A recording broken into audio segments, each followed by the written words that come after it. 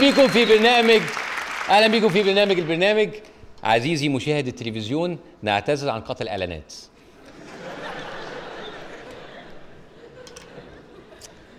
النهارده إحنا معانا ضيف مميز جدا وهو مش محتاج يتقدم هو آه، كل يوم الصبح بيقدم برنامج آه، على ON TV بيقدم صباح ON لمزيد المزيد من التعرف على ضيفنا رحبوا معايا؟ بالمذيع الإعلامي يوسف الحسيني.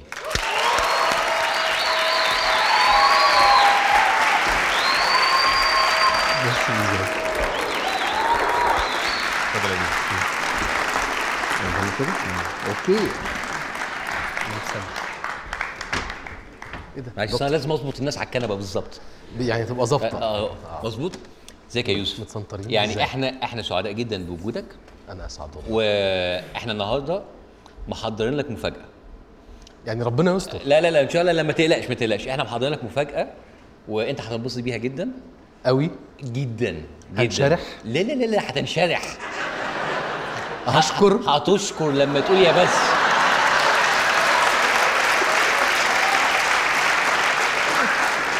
أنا عايز اشكر مش عاوز حد يشكرني لا لا لا لا لا لا لا لا لا هتشكر ويتشكر لك وكل حاجة يكون أيها السادة أقدم لكم.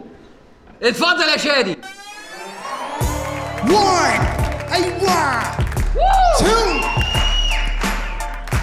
three.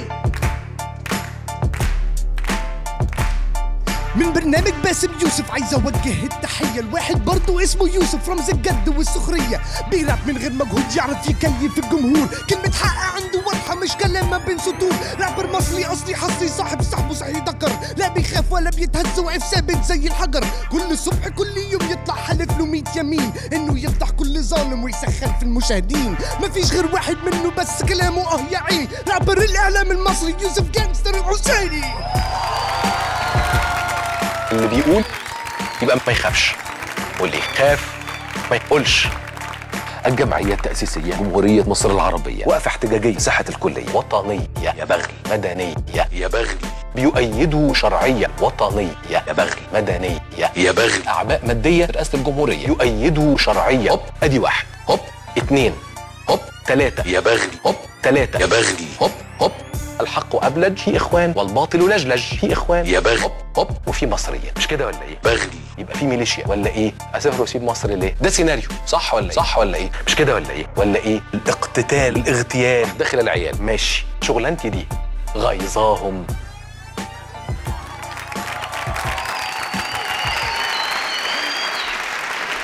إحنا إحنا كنا عايزين نثبت إن أنت بتعمل راب أحسن من أي حد اقتتال آه اغتيال اغتيال اغتيال آه، يا بغل يا بغل وبعدين ننزل. علشان كده إحنا هنكمل لقائنا مع الأستاذ الإعلامي يوسف الحسيني لكن أعتقد إن إحنا لازم نطلع بريك تاني عشان إعلانات نلتقي بكم مرة أخرى مع برنامج البرنامج بعد الفاصل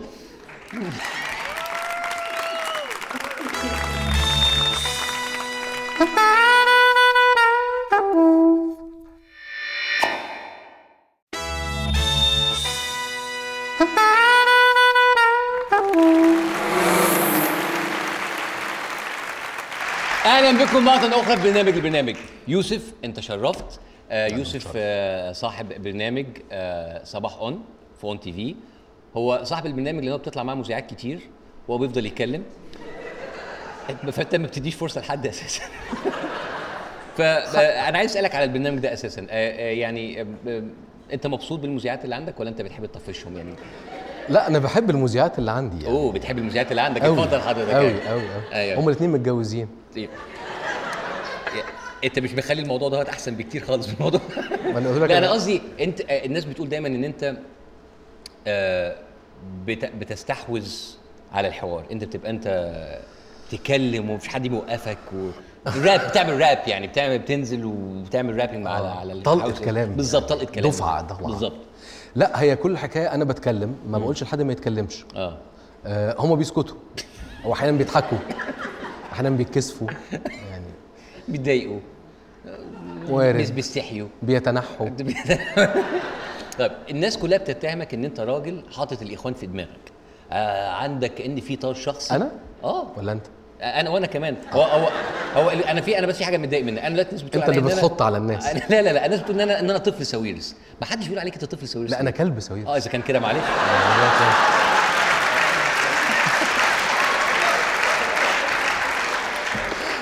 بس في ناس بتاخد عندك فعلا إن أنت واحد آه، كأن أنت واقف لل- للإخوان على الواحده بص هل أنت عندك مشكلة شخصية مع الإخوان؟ في حد إخوان ولا مصنع؟ الكراسي ولا أي حاجة خالص. آه تمام. هو أنا ما عنديش مشكلة مع الإخوان بشكل شخصي يعني ما عنديش أزمة إنسانية مع الإخوان. هو أنا عندي مشكلة مع تعاطي الإخوان أو طريقة تعامل الإخوان أو إدارة الإخوان من زمان. يعني مش لما مسكوا الحكم مش لما الدكتور محمد مرسي بقى الدكتور محمد مرسي اللي موجود في الاتحادية مش لما الإخوان كانوا في مجلس الشعب. كانوا برلمان المنحل الكلمة دي بتضايقهم قوي. رجعوا تاني. محدش عارف بقى البرلمان اللي جاي إيه. آه، من زمان يعني أنا كنت آه، أيام ما كنت في المدرسة كنت رئيس اتحاد طلبة مصر. فكنت بتعامل مع آه، قيادات طلابية من الإخوان. هو ده السر ورا إنه أنا مختلف مع الإخوان على طول الخط. عارف طريقة التعاملات إزاي؟ عارف يعني إيه؟ بقالي 22 سنة يعني أنا الشهر الجاي هبقى 38 يبقى بقالي 23 سنة. أوه أوه. الشهر الجاي تعمل 30 baby إحنا أوه قريبين أوه جدا من baby. بعض. yeah yeah yeah أنت عارف أنت توصل the big four O بقى وكده. yes أوه. أوه yeah okay فاتعاملت معاهم في فترة اتحاد الطلبة اتعاملت معاهم وإحنا في الجامعة اتعاملت معاهم بعد ما اتخرجت من الجامعة ففي في شغلي قبل كده يعني. فهي المسألة إنه هي منظومة مستمرة في عدم الوفاء بوعود ومنظومة مستمرة في طريقة إدارة أحادية جدا يعني اللي هم شايفينه بس هو الصح وأي حد تاني لازم يبقى غلط لازم. ده أنا ما اتعلمتوش في حياتي. أنا اتعلمت إن أنا وارد أكون غلط. ما عنديش مشكلة إن أنا أطلع غلطان. ما عنديش مشكلة إنه وإحنا داخلين مع بعض في مناقشة فإنه باسم يقدر يقنعني. مش بالضرورة أخش المناقشة عشان أنا هفضل صح لحد نهاية المناقشة. هي دي الأزمة الحقيقية اللي ما بيني وبين الإخوان. عمليا أنا عندي معارف جوه الإخوان كتير. في بينهم ناس أصحاب أقدر أقول كده جدا يعني. واحد من أهم قيادات الشبان جوه الإخوان المسلمين زمان هو خرج صحيح زي إسلام لطفي أو زي آه، آه، يعني آه، أمين شباب الإخوان في محافظة الجيزة علي. كل الناس دي أصحابنا ما عندناش فيها أزمة. وعلى مستوى قيادات الوسط وما إلى ذلك أعرفهم كويس وفي بينا ود إنساني عادي. لكن في خلاف. خلاف سياسي. خلاف سياسي جدا. طب على على على ذكر الخلاف السياسي هل أنت في الانتخابات الرئاسية اللي فاتت آه الناس مثلا تتوقع إن أنت تكون أنت صوتت لشفيق عيلتك كلها صوتت لشفيق هل إز- إزاي يعني التصويت كان ماشي هو أنا عيلتي كلها بتصوت دلوقتي. طب طب كده كلنا يا فندم تمام. لا, لا شوف هقول لك حاجة أنا ليا خال خالي الكبير خالص ده إخوان أو كان إخوان زمان و... وانشق عن الجماعة من بدري جدا. آه وفي نفس الوقت ليا أمي من وهي في الجامعة هي كانت قيادة نصريه جوه الجامعة وبعدين بقت بالوقت بقت مدير تحرير روزا اليوسف في مرحلة من المراحل بتاعة يعني أنت عندك. خال إخوانجي آه. سابق وأم وأم نصريه نصريه تمام. وابويا الله يرحمه شيوعي. لا إله إلا الله. متخيل؟ تمام أوكي. تمام يا فندم. لخبطه جدا. زي الدستور. ف... في في الوقت اللي إحنا أصعب من الدستور. آه، خالي اللي كان إخوان أنا فاكر مكالمة حصلت آه، في المرحلة الثانية من الانتخابات. فأمي اللي كانت بتكلمه فبتقول له ها هتنتخب مين؟ قال لها هنتخب مين؟ هنتخب شفيق طبعا. ده بجد مش هزار. آه وانت هتنتخبي مين؟ قالت له مرسي طبعا. النصريه النصريه آه. اللي المفروض بقى إحنا يعني عايشين في الزمن بتاع. عبد الناصر بيكره الإخوان والناصريين بيكرهوا الإخوان والإخوان بيكرهوا الناصريين وحاجات زي كده. فالنصريه انتخبت مرسي والإخواني انتخب شفيق. فهي حتى بتقول له إزاي؟ ده أنت كنت إخوان. قال لها ما هو علشان كده هنتخب شفيق.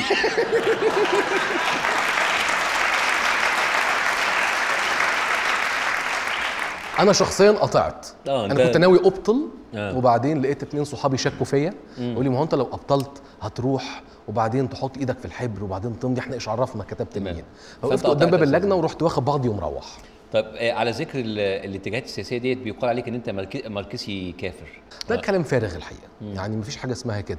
هو المشكلة إن إحنا عايشين في عصور جهل الحقيقة بقى لنا سنين طويلة لا هي بسبب حسني مبارك لا هي بسبب حسني مبارك وبسبب جمال عبد الناصر وبسبب السادات وبسبب الملك وحاجات زي كده.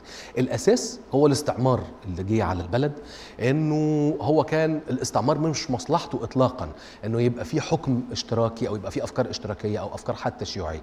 آه وبالتالي بدأوا يروجوا إلى فكرة إن الشيوعيين دول كفرة ما بيصلوش ما بيصوموش بيكرهوا الأديان آه بيزدروا الأديان وربنا سبحانه وتعالى والعياذ بالله يعني وحاجات زي كده. ده مش حقيقي على الإطلاق. خالص. ملوش أي علاقة. أنت في عندك مجموعة أفكار تتعلق باقتصاد وبشكل إدارة سياسية. وأنت بقى في قلبك عايز تبقى مسلم عايز تبقى مسيحي عايز تبقى يهودي عايز تبقى بوذي عايز ما يبقاش ليك دين. ده موضوع تاني خالص. ملوش علاقة بانتمائك الفكري. دي كل حكاية. ب- ب- ب- يعني في ناس كتير ما تعرفش آه، عنك إن أنت أساسا آه، مش قبل ما كنت تبقى مذيع حتى في الراديو انت كنت بتعمل voice over artist انت voice over artist أساسا. انت انت انت مش بالظبط. كنت انت انت عملت حاجات كتير جدا هو. أنا اتخرجت من اقتصاد اشتغلت معيد شوية وبعدين قدمت استقالتي اكتشفت إن أنا ما ينفعش أبقى مدرس خالص. يعني اهلس قوي على إن أنا أبقى مدرس. تمام. واضح. فا آه. واضح قوي. بالدرجة. ف أنتوا عجبتكم قوي الحكاية دي. هلس. ف وبعدين لما اتخرجت من الجامعة لما سبت الجامعة قصدي اشتغلت شغلانتين مع بعض. اشتغلت مذيع في التلفزيون المصري في الفضائيه المصرية و... وعملت برامج أطفال. وعملت برامج دينية. وده كان أول سنة ليا وكنت ألدغ أكتر منك بمراحل. أنت كنت ألدغ؟ أوه ياه ياه بجد؟ إزاي؟ طب يعني أنت إمتى؟ يعني أنت ما أنت مش أنت مش ألدغ. أنت كويس. أنا أنا دلوقتي اتعل- اتعلمت وأنا عندي 23 سنة أمر أمير الأمراء بحفر بئر أنا ألدغ أبا عن جد. يا راجل! أه والله. فال ال- أمر أمير الأمراء بحفر بئر في الصحراء يشرب منه جميع الفقراء. حلو. ده هتيجي هتيجي. يعني كويسة يعني يعني عاملة زي ليلة الخروف يعني. بس فأنا اشتغلت في واحدة من شركات التليفون المحمول بعد ما سبت الجامعة وفي نفس الوقت جالي شغل بتاع الفضاء المصرية ده. تمام. فتعلمت هناك على إيد اتنين. على إيد مدام سناء منصور وعلى إيد مدام صديقة حياتي دي واحدة من مؤسسين الشرق الأوسط جيل سناء منصور وما إلى ذلك. فهي قالت لي أنت عايز تبقى مذيع؟ أنا كنت ساعتها بجرب بصراحة وما كانش في حلمي خالص إن أنا أشتغل مذيع على الإطلاق. قلت لها أديني بجرب. قالت لي لو هتستمر لازم تنطق. فنطقتني الحقيقة الره فضلت وج- وجابت منك الريه في الآخر. آه. وابنك ألدغ؟ ابني إله أبويا الله. يرحمه إلا أخويا الكبير بس هي ألدغ. الحاجات دي يعني يعني يعني شدة وتزول أو بتفضل معاك يعني. هي بتفوت. آه. هي بتفوت. هي بتفوت. أنت- نقدر نعيش بيها يعني. طب بمناسبة الراديو آه، في ناس ما تعرفش إن أنت من كام أسبوع كده أنت قدمت آه، أنا ون أنا والنجوم وهواك بدل أسامة منير. ده على نجوم اف ام آه. آه. طبعا. مش كده؟ آه طيب حصل. يعني يعني دي مش أول مرة على فكرة اشمعنى مسكتوا لي لا لا؟ أنا- أصل أنا عايز أقول حاجة أصل إحنا الناس يعني إحنا سمعنا التسجيل بتاع الموضوع ده وأنت كنت يعني أنت كنت سمعت بتعمل أي مكالمة لا أنت تحديداً؟ مش واخد بالك أنت كنت بتعمل على... أنت كنت على تويتر عمال تتكلم في السياسة والناس عمالة تكلمك على الحب على, التلي... على التليفون و... آه. وكان في واحد عمال تقول لك يا أسامة يا أسامة يا أسامة. وانت قلت لها أنا يوسف فقالت لي يا أسامة آه. قلت لها خليني خالد يعني مش دي القصة بس جاوبي على السؤال اللي أنا بسأله يعني. بس إز... إزاي تعاملت مع موضوع أنا والنجوم وهواك؟ إزاي يعني أنت إز- إزاي اديت نصايح في الحب يعني؟ والله هقول يعني. مثلا متهيألي يقول لك أنا في واحد سابني من زمان. الإخوان وحشين! أنا في واحد سابني يعني يعني إزاي تعاملت مع الموضوع ده؟ هي قالت لي أنا اتخطبت وكت. آه. وخطوبه عادية وكت. فقلت لها كتا اللي هي إيه؟ قالت لي خطوبة عادية. قلت لها هو في خطوبة مش عادية بيحصل فيها حاجة يعني ولا إيه؟ هقول لك شوف هو ال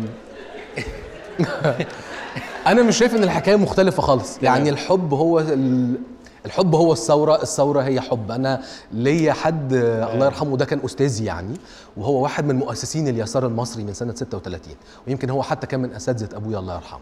فتعلمت منه حاجة ظريفة جدا إنه أكتر فعل رومانسي في الدنيا إنك تعمل ثورة. يا سلام. فقلت له ليه؟ هيقعد يتريق والله العظيم. عشان- أنا عارف. عشان جاي كده- وأنا شايل عشان. كده اللي بيحصل فينا اللي بيحصل بعد الحب. ماشي وبعدين اتفضل يا بيه آه. سيكو سيكو. سيكو سيكو سيكو. سيكو سيكو. ف- فسالتها سالته وقتها قلت له إزاي يعني؟ قال لي ال- البني آدم اللي بيثور ده علشان تحسين أوضاعه وتصليحها وحاجات زي كده هو بيثور علشان مين؟ عشان الناس اللي يعرفهم ولا علشان كل الناس؟ قلت له عشان كل الناس. قال لي بدافع الايه فما كانش عندي إجابة كان عندي حوالي 13 أو 14 سنة. قال لي بدافع أكيد إن هو بيحب الوطن والوطن ده إيه؟ أرض وناس. فأنت بتحب الناس في المطلق من غير ما تعرفه.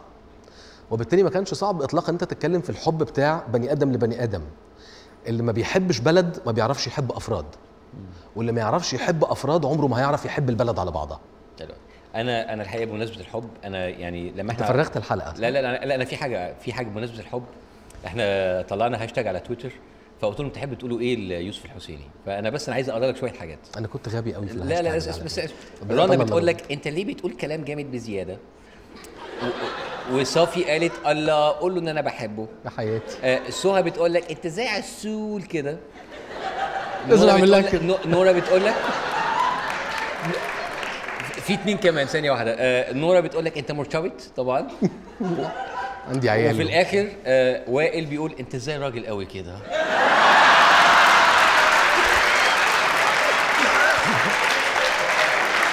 هو سؤال غريب من وائل حبتين.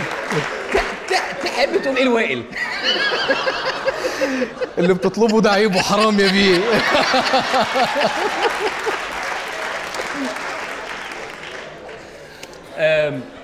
من كام أسبوع كان في اعتصام آه، اللي هو اللي حصل حوالين مدينة الإنتاج آه، أولاد أبو إسماعيل. و... وأنت كنت من الناس اللي أنت يعني نزلت معاهم. أنت أنت أنت يمكن من الإعلاميين القليلين اللي أنت فعلا رحت اتكلمت معاهم صح؟ هو أنا غالبا الوحيد. آه فعلا. أنت اتكلمت معاهم أنا فاكر إحنا معانا صورة من الاعتصام ده يا جماعة؟ ثانية واحدة.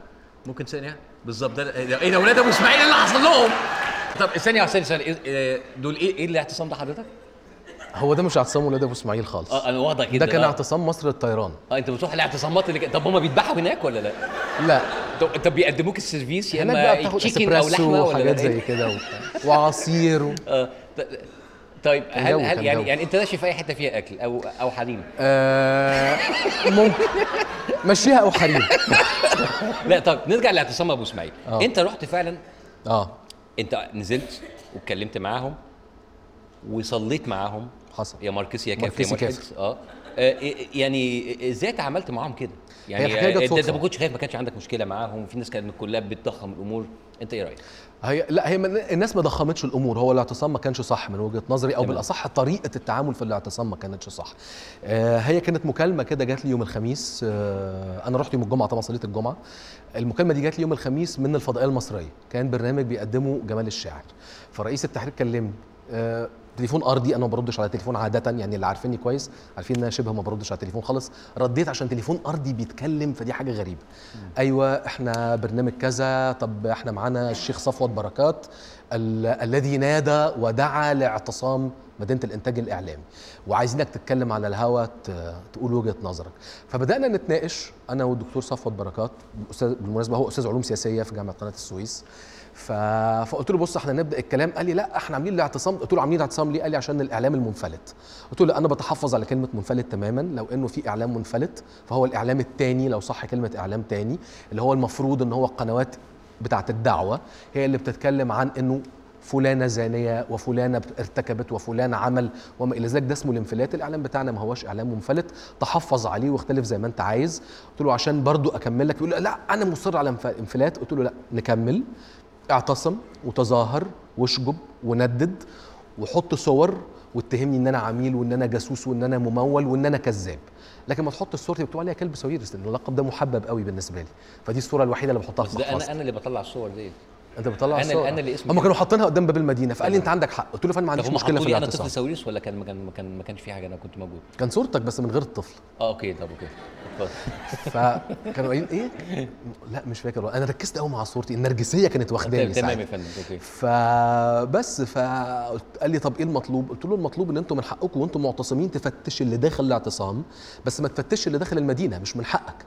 ولا تمنعني من دخول الشغل بتاعي. فقال لي لا إحنا ما حدش فينا تعدى على حد. كان ساعتها لسه خالد يوسف مضروب. له هو خالد يوسف لسه مضروب حالا. فما فيش استفادة من ده يعني. بالإضافة إن أنتوا هتشوهوا صورتكم أصلا. فأنتوا أحرار.